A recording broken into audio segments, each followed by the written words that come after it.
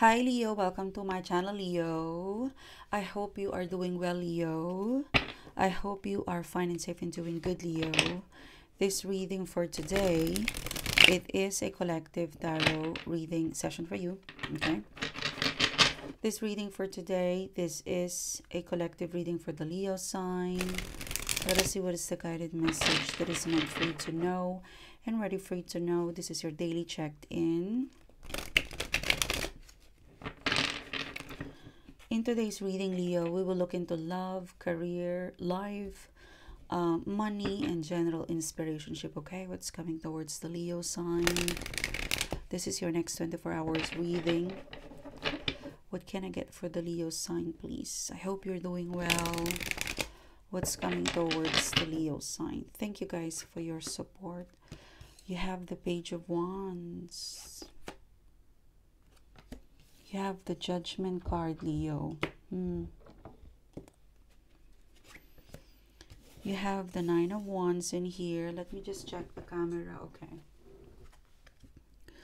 Page of Wands, Judgment card, the Nine of Wands. You've got the Magician card in here. The Three of Pentacles. The King of Pentacles in here the six of cups. Okay they want me to keep it in reverse. Okay. The queen of pentacles. Okay. And you have the two of swords. And so we start your reading. Um well first of all the page of wands the judgment card there's a delay. Okay. Um I feel like with the Page of Wands, the Judgment card, this is a de delay response. Like, um, you know, the Page of Wands, delay response. Oh, from the Lover's card. Look at that. Mm. The Page of Wands, I feel like this person, it has already exhausted you because you're a Nine of Wands. I get the feeling that there is a romantic interest I get the feeling that this romantic interest, Leo, they're coming in. Instead of saying sorry, they're going to make up some sort of story. Instead of saying sorry, they're going to make up some sort of story to connect with you. But I feel like this is just a preliminary vibe. Okay, this is a this is a preliminary vibe, Leo, where it's like they're scared to be vulnerable and say sorry. So they're going to pretend and invent some sort of some sort of action or some sort of I don't know, this person's going to invent story to connect with you. But if you let them in, they will eventually say, "I'm sorry. I miss you." and be vulnerable, okay? Um I get the feeling that this person is someone that you're going to meet them in the mall you it's possible that your first meeting was in the mall or they're going to ask they're going to ask you out and it's going to be in the mall okay? The lover's card but you're going to meet up this person. If not soon this year 2024 it won't end without this person meeting you up okay? Yeah look at that three of cups. And if you have already you know if you've been watching tarot reading by now you know that the three of cups this is socializing. This is dating and getting to know. This is, you know, eating to the restaurant, coffee shop. So I get the feeling that because you're a nine of wands, so they're coming in late and you're exhausted. I get the feeling of you again with the nine of wands. I get the feeling that, oh, you again? Not again.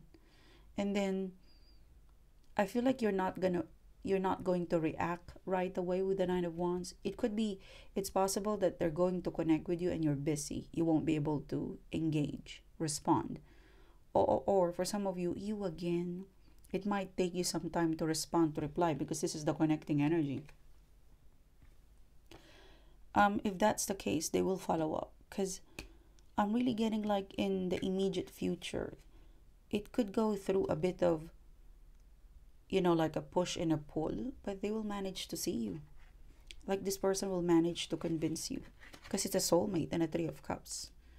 Um, take your time, whoever this person is, they're coming in as a soulmate. So it looks like they're very patient in terms of waiting. Okay. Could be someone younger. This could be foreign too. I get the feeling that this person also they're very talkative. I get the feeling that the way they're texting you or talking to you, they're very talkative and at the same time at the same time you can pick up that okay you're very talkative because you're nervous. Like you could pick up that they're trying hard because they're nervous okay? There's more to come. The nine of wands. Now what else is coming towards you? You've got the magician card the six of cups in reverse. Now this one they've asked me to keep this in reverse what i'm getting at with the magician card leo is that it looks like for some of you um there's some sort of daily you know magician card this is inspiration. The magician card this is magical. This is drama. This is in inspiration. This is intensity. This is magic. However you're not connecting to your inner magician. So for some of you for some of you guys you're not motivated to be creative create see there's a part of you that there's something off when it comes to your creativity inspiration. It looks like you might need to find a muse. Like you need you kind of need to find a new inspiration. You kind of need to move. Or if you're usually working at home maybe you might want to move into a different place to find your inner muse. For some of you you could be working working working and you haven't had a proper vacation so your inner psychic, your inner muse is switched off.